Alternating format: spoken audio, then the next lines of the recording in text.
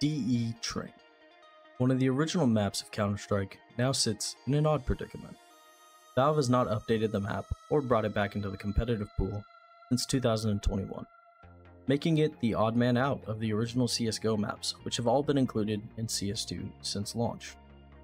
Train is still one of the most beloved maps by the community, due to its close quarters battles at B site and long open fights at A. Train really excelled at being a jack of all trades map. There's been a lot of details that Valve has kept the same over the years with Train, but also quite a few differences that we'll look into today. In 1.6, the map looked different to how it is today. It was much more barren with more linear fighting. It still did have the verticality of the ladders on the train cars and the ladder from B halls down to A site, known as Pop Dog. But it looked much different due to the original map featuring plain textures derived from Half-Life. As 1.6 was a Half-Life mod, they did the best they could with the textures at their disposal.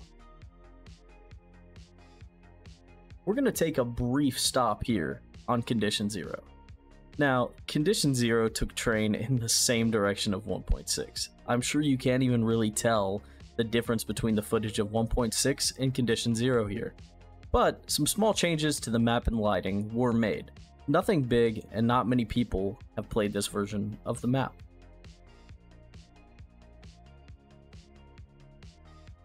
Moving on to Counter-Strike Source. Counter-Strike Source is where we'll see the first major changes to Train. With new and revamped textures, and new models, it gave it a more lively atmosphere. It was less bleak warehouse and more sunshine and brightness. The train cars also saw major improvements in this version of the map, and the back halls area was partially converted into a shower room and break room. Additionally, instead of a plane flying overhead, those noises were replaced with train horns. You could also hear the sound of hissing steam in the long hall as you passed the boilers. The last major change was to B site, where they had lowered the roof to allow more visibility in order to counter AWPers.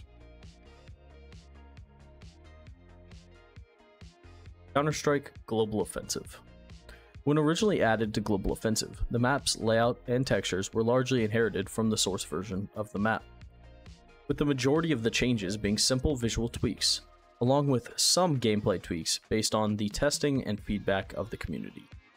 The theme of the map was also changed from an American train station to that of a Russian one. Train was further updated on December 10th, 2014, drastically altering the map's visual style to inherit the new Russian train station look, as well as altering some of the gameplay tactics.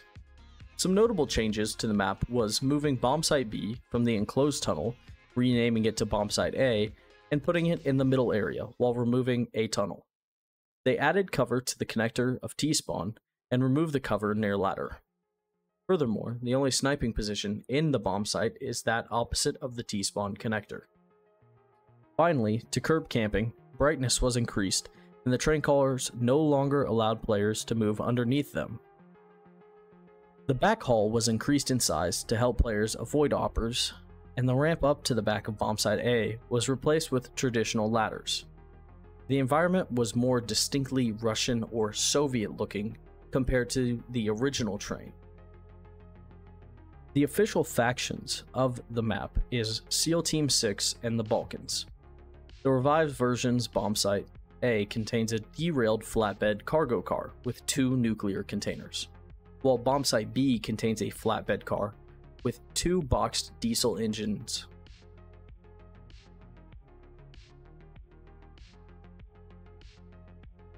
Moving on to Counter-Strike 2. Of course, we don't know if Train is coming to CS2 or not, but it is widely speculated that it is a lot of people think that it could be the next map added when a new operation drops. Of course, this is all just speculation, and the footage you see now is of a community-made version of Train in CS2, with all the new updated lighting and textures that are available to us in the Source 2 engine. That being said, the map has not changed at all in the functional gameplay, only in its looks and textures. I know some maps they did complete overhauls of, and other maps they just updated them to look new. I want you guys down in the comments to tell me if you guys want them to change the entire map of Train, create something brand new, or if you want it to still be Train with the same style and the same look, but just updated into the new Source 2 engine. I really hope you guys enjoyed today's upload, and if you did, make sure to leave a like and comment down below. It helps me out a ton. And if you guys want to play games on maps such as Cache, Train, and Cobblestone, go ahead and join the Discord. It's linked down below, and I run community events pretty often, or at least try to. um, I haven't been successful yet in getting a community event fully up and running, although I have been trying, and I'd love more and more members of the community to come play these older maps in a more casual um, and competitive sometimes. I get it, it's Counter Strike. We're all going to be competitive, right? But if you guys would like to play those, just go ahead and join the Discord. I do have a message up in chat. If you're watching this the day it came out or the week it came out, this weekend I'll be hosting some hide and seek games as well as trying to get some um, cache cobble and train games going. Um, so if you guys want that, go ahead and join the Discord. Um, other than that, I really hope you guys enjoyed the upload, and I'll see you all in the next one. Peace.